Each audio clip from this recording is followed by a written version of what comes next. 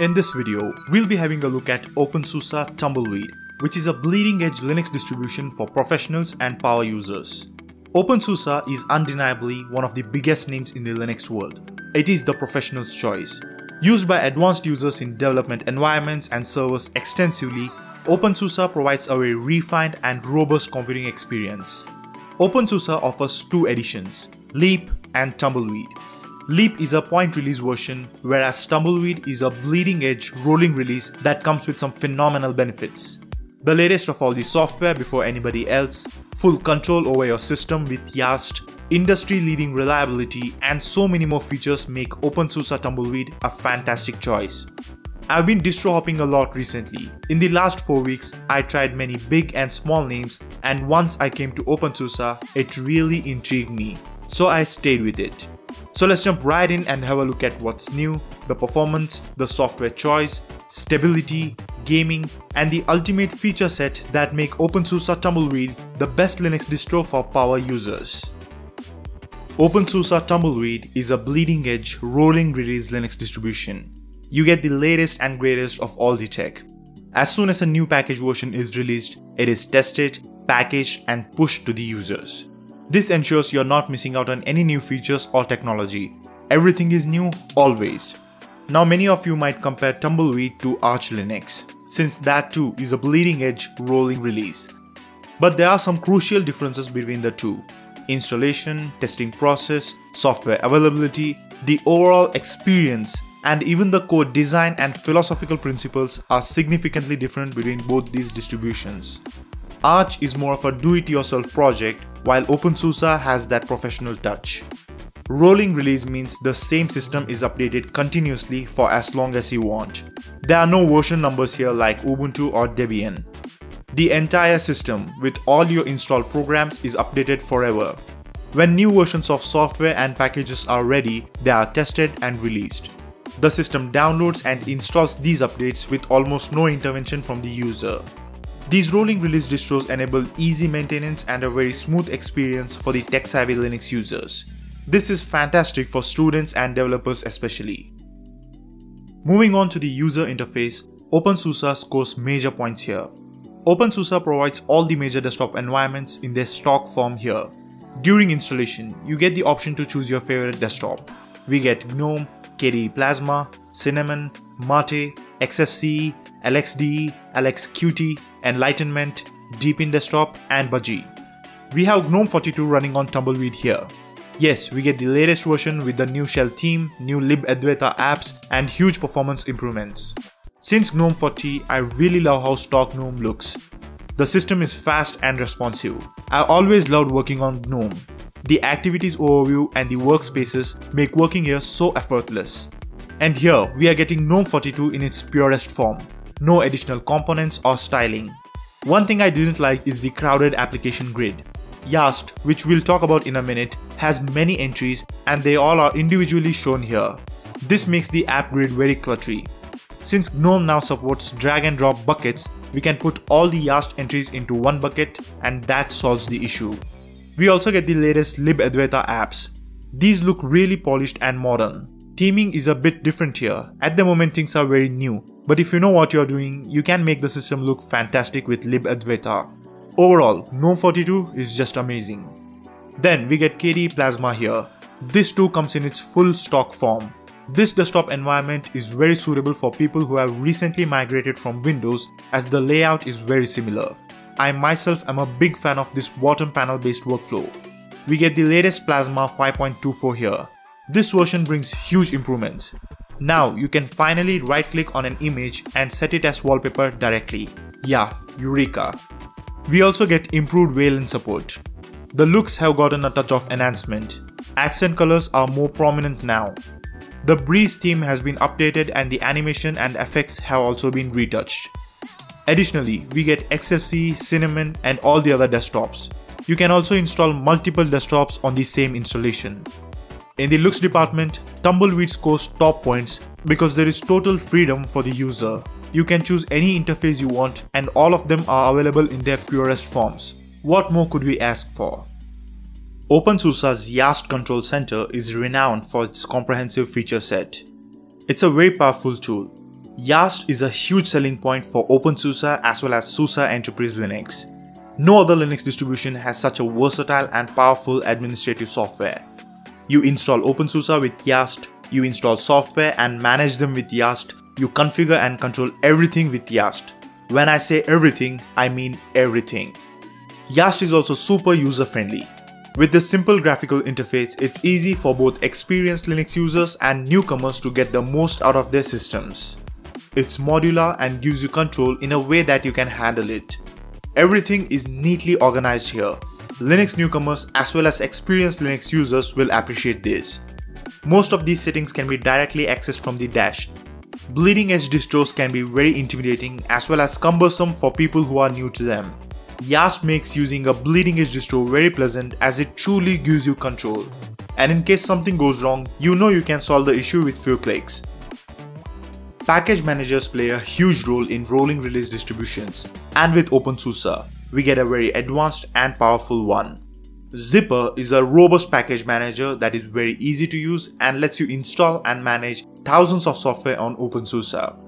It makes it easy to keep your system up to date with the latest software releases and security patches. It automatically manages dependencies and stuff very harmoniously.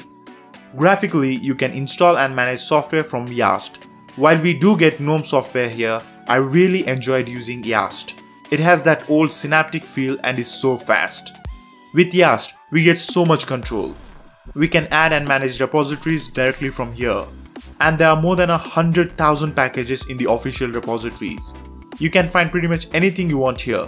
Search in YaST and it is presented to you in a second. I was pleasantly surprised when I found even lesser known software here. In YaST, software are organized categorically so you can browse around. We can also install RPM packages directly. I can tell you that you are going to really enjoy the amazing software availability here on OpenSUSE. Bleeding edge rolling release is not a term that's necessarily synonymous with stability. Fast updating packages do introduce an element of volatility. While this can be mitigated by maintaining proper backups, it is still more work when you compare to something like Debian Stable. I'm not gonna deny that. But then, the advantages of using bleeding edge distros are also massive. You get the latest features as soon as they are out, you're safer, you might get better performance as a result of better performing drivers, desktop environments, and just better software in general. And as far as bleeding edge distros go, OpenSUSE Tumbleweed is just amazing. OpenSUSE is made for system admins, developers and other professionals. This makes it imperative that OpenSUSE be a high quality product that is also exceedingly reliable. And that is what OpenSUSE is exactly. OpenSUSE has created a phenomenal tool called Open Build Service or OBS that helps with compiling and packaging Linux applications.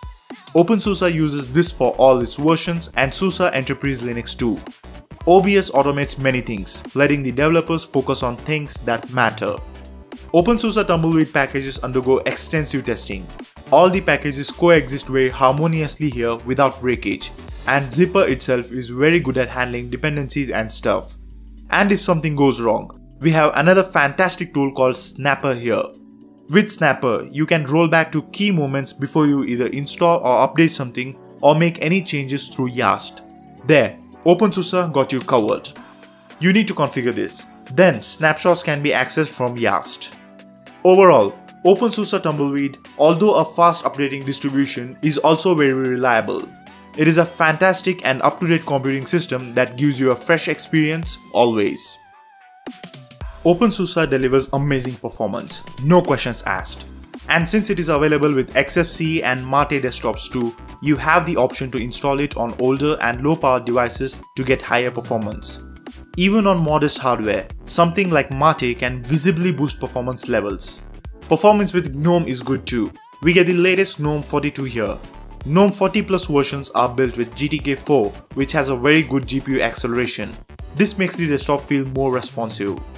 KDE Plasma is amazing as usual in the performance department. The driver support here is good. We get the latest Nvidia drivers from additional repositories, and the latest AMD GPU drivers are in the kernel itself, so your hardware will be delivering the best possible performance all the time with OpenSUSE.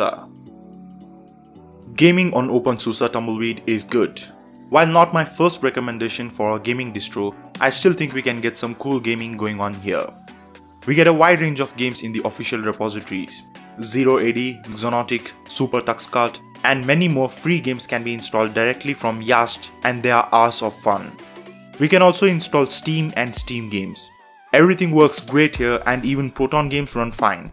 With Steam Play, now you can play many top Windows exclusive titles on Linux, GTA 5, Cyberpunk 2077, Elden Ring, and many other top titles can be played here. The gaming scene on Linux has changed drastically.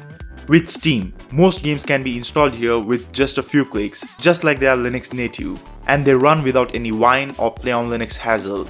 If you have an Nvidia GPU, then you might need to be careful around kernel updates.